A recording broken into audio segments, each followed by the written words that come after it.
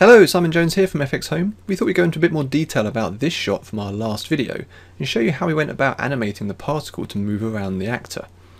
So this is the finished shot, but we're actually going to go from the start. So let's just take our guy here.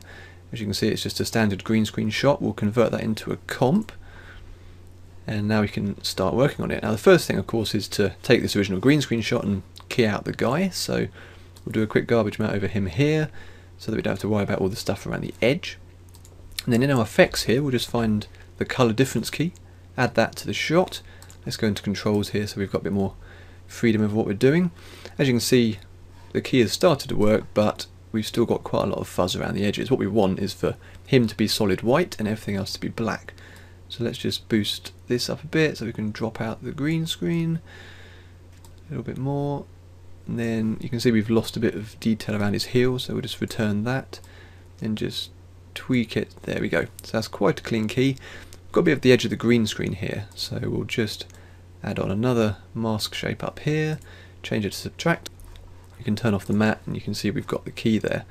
There's a little bit of green fringing around the edges so let's just get rid of that using a handy spill removal effect. There we are if we zoom in, you can see there's a little bit of stepping around the edges here. That's due to the particular codec and camera that we shot this on. This is actually a shot we did a few years back, which we're repurposing for this example. So to fix that, let's throw on the chroma blur effect before the key is applied, and that will give us a nice smooth edge. So there we go, nicely keyed out actor there. We'll just close that down. What we actually want to do, at the moment this is just a 2D composite. So we'll switch this from 2D to 3D, That'll give us the option to add a camera, which of course we'll say yes. And now we are in 3D. Although it looks pretty much the same, you can see that if we actually start moving around, we are in fact in the 3D comp and our video layer is now a flat plane in there which we can do whatever we want with. I'll just reset the camera back to where it was. Okay, so how do we go about creating this particle? Well, the first thing we want to do is add a point.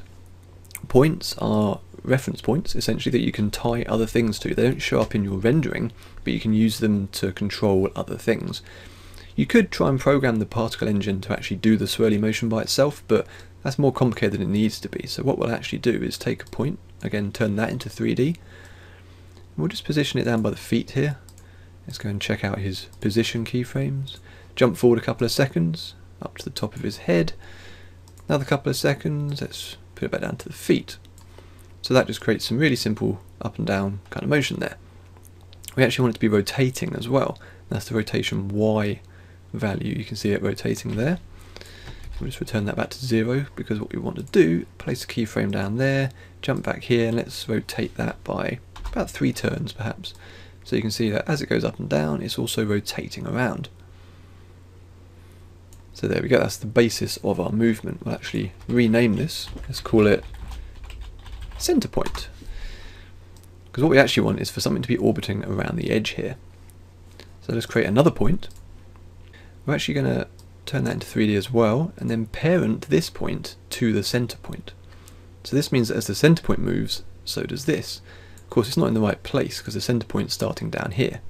So let's take our new point, drag it down to here, drag it out to the edge a little bit. We'll call this orbit point. Now you can see it's moving around the edge exactly as we want. If I actually select both of these points you can see in a bit more detail what's happening. So the center point is just moving up the top while the orbit point which is parented to it is moving around the edges. And if we just quickly zoom out into our perspective view here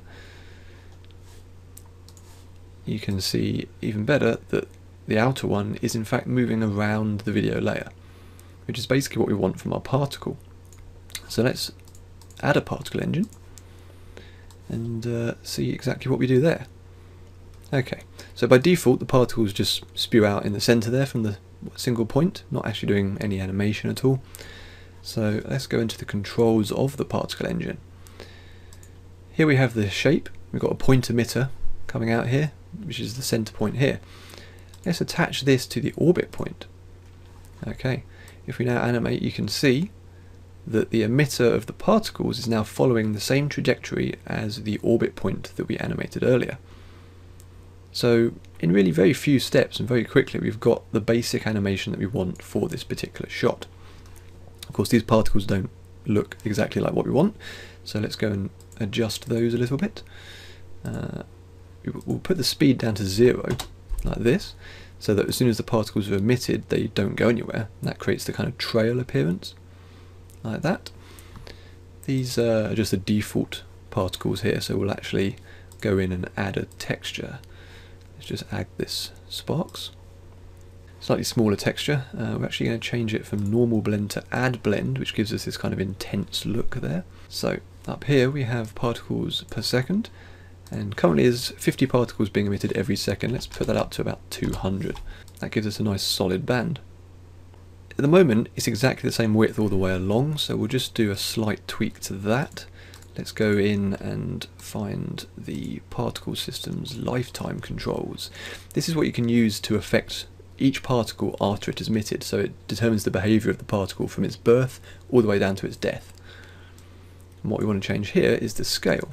So at the moment it's exactly the same size all the way through its life. Let's change that slightly. We'll add another keyframe here, move it to the end, drop that down to zero. And you can see now that as particles go through the course of their life, they become gradually smaller. And that gives the impression of this whole thing moving around and around in a kind of thinning out tail kind of way. This is just one example of what you can do with points in the particle engine. There's so much more potential to it, and that stuff we'll be covering in many tutorials down the line. Thanks for watching!